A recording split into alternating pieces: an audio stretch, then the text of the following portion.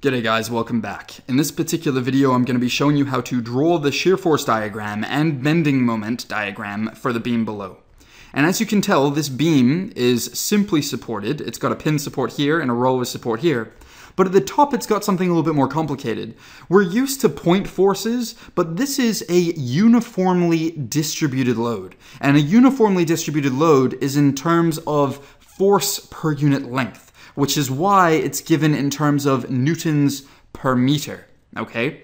So in case you have no idea how to approach a problem like this, let's begin with the free body diagram. So the first thing I want to notice is that this is a pin support, so of course we're going to have reaction forces AY and AX here, and this is a roller support, so this is going to be BY just here. And of course, a uniformly distributed load will be acting on the top of this thing.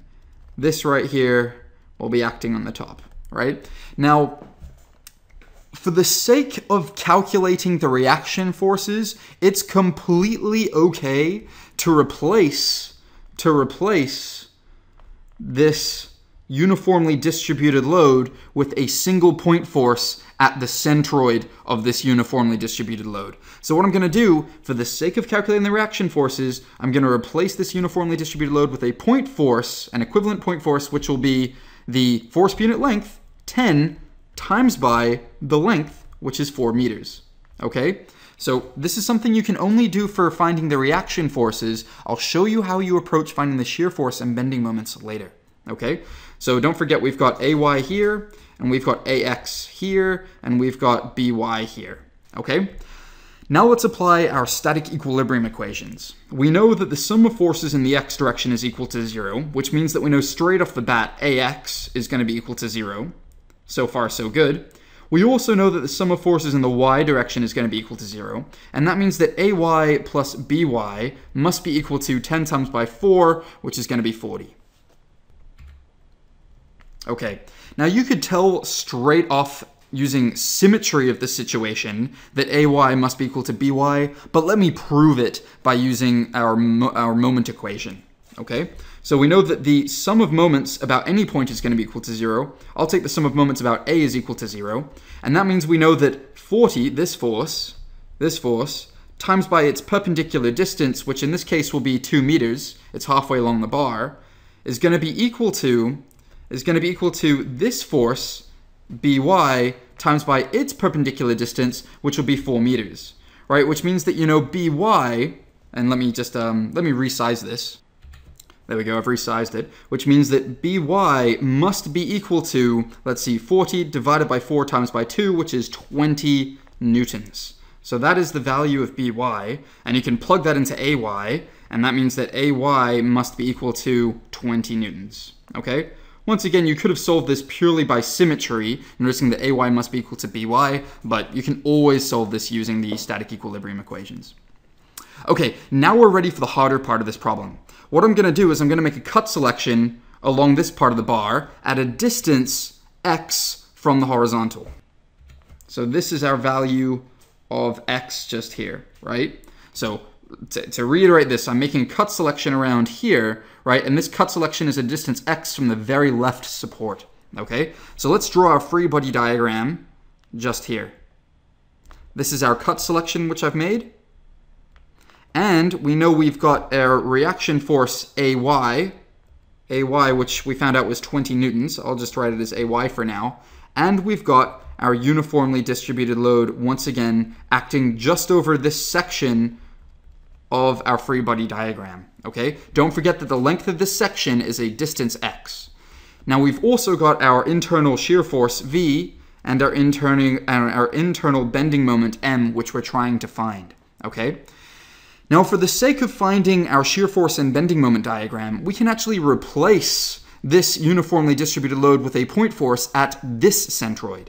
So what we can notice is we can actually replace this with another free body diagram, which looks like this. We've got our cut section here, we've got AY here, we've got V here, we've got M here, but this time, but this time our equivalent force will be right smack bam in the middle of our cut in the middle of our in the middle of our section, right, which will be w, which will be 10, times by its corresponding distance, which will be x in this case, right? So I, I hope I'm not jumping too far. This distance here is a distance x, which means that the net force caused by this uniform distributed load over this section will be 10 times by x, okay? I hope that makes sense. That's a really important part of this problem, okay? So now let's do the sum of forces in the y direction must be equal to zero. Well, ay is positive, right? This will be negative, this will be negative, so I'm just going to say that's going to be equal to 10x, 10x plus v, plus v, which means that you can show that v, our shear force, must be equal to 20, 20 minus 10x. In fact, let me keep it at the same color, minus 10x. That is our value of our shear force, right, at any point x along this bar, okay? Now let's do the sum of moments. The sum of moments about any point is going to be equal to 0. I'm going to choose the sum of moments about this point is equal to 0, which I'll call point x, and there we go. Okay, well, v doesn't show up anymore because we're taking moments about this point, and v passes through this point. But this does produce a moment, and it's going to produce a moment which will be ay times by its corresponding distance, which will be x in this case, right? And, ooh, I feel like I'm going to run out of space. Let me just quickly resize this. Sorry for stopping halfway through. So we found the moment produced by this reaction force AY. Now let's find the moment produced by this force about this point too. Well, it's going to be in the other direction, so I'm going to say that's going to be equal to, it's going to be equal to 10x. That's the amount this force is produced, and we're going to times it by its corresponding distance, which will be this distance, which is actually x on 2 which is actually x on 2. This force will be perfectly smack bam in the middle of this in the middle of this section, so this distance here is going to be a distance x on 2. And of course, this moment also shows up, and it's going to be plus m just here.